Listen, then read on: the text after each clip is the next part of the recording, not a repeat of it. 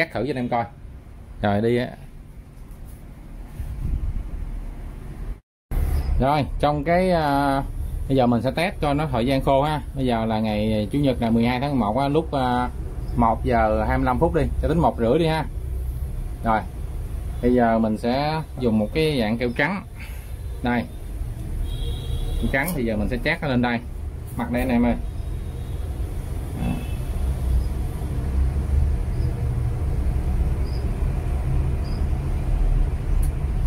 Ok. Nha.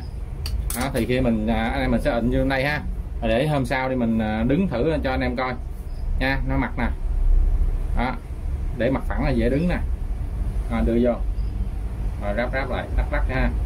Rồi. Giữ lại nha. Bình thường anh em ráp như vậy á thì phải có cái cây để giữ lại. Kẹp lại nó mới giữ được chứ thả ra là nó sẽ đưa nó đó. Ok rồi.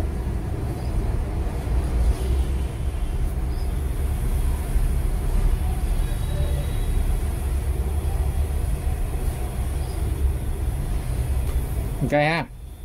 Thì à, mình sẽ để cho thời gian là ngày mai đi. Sáng mai đi mấy anh. À, sáng mai mình, à, mình à, sẽ quay lại mình coi nó cứng hoặc nó mềm như như như thế nào nha. Sẽ không không có hàng đâu. Đây là keo trắng nè.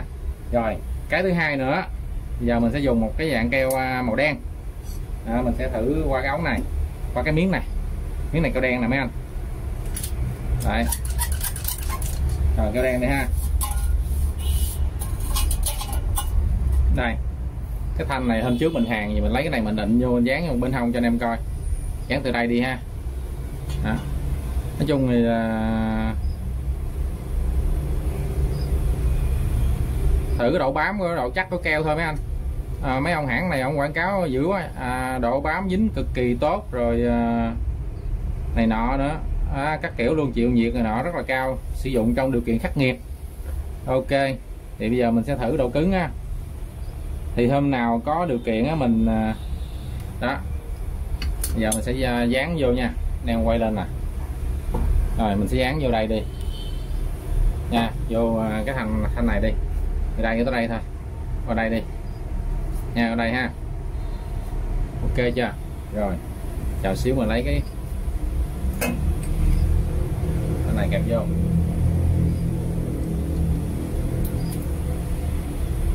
Rồi. Đó này thấy không?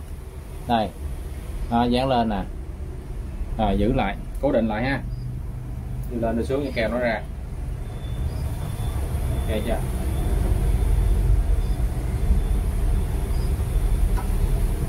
Cái màu đen này là mình à, cho hơi, hơi ít keo.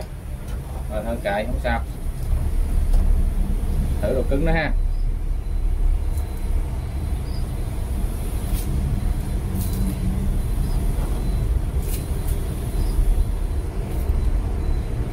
Rồi nha để cho nó. Rồi ok. À, sau khi à, được 24 giờ rồi mấy anh?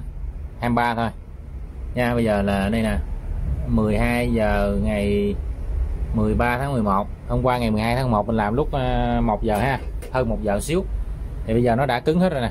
Nha thì bây giờ mình sẽ test thử cho anh em xem coi nó chịu tải được hay không nha. Thì bên uh, mình đó thì uh, nặng là 70 kg ok ha giờ mình sẽ đứng uh, lên thử nha.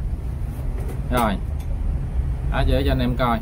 Đứng ở bên dưới trước nha đây nè. Đó ok, giờ mình nhúng lên nha. Tại ở trên giờ không có điểm tựa.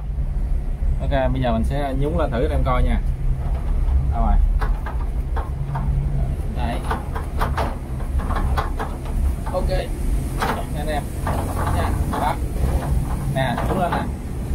Ok, nha. Đó. Rồi dưới điểm tựa nè. Đó, ok ha. Rồi.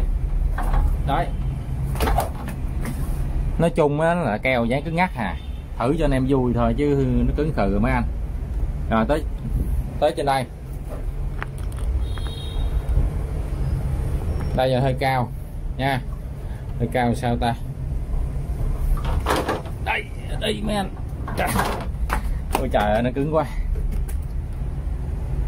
Nói chung cái thanh này còn cứng nữa mấy anh. Tại này nó thanh nó dài nè, dán tới đây. Thanh như có con khúc à. Nha, thì chủ yếu hai cái loại ấy thôi chờ xíu. Đây ha. Đây. Đó ok. Nha nè. Con lành ha. Cứng quá. Đây dấu uh, không có à, hàng nha dấu keo dán cứng luôn nè mấy anh. Bên đây. Nha. Đó. Ok bên dưới kìa ha. Đó là hôm à, hôm qua mình test thử cho anh em keo rồi đó nha. Rồi, bây giờ mình sẽ đi à, nó cứng dữ lắm. Bây giờ mình sẽ đi à, vào bên trong bàn mình coi cái keo qua mình xịt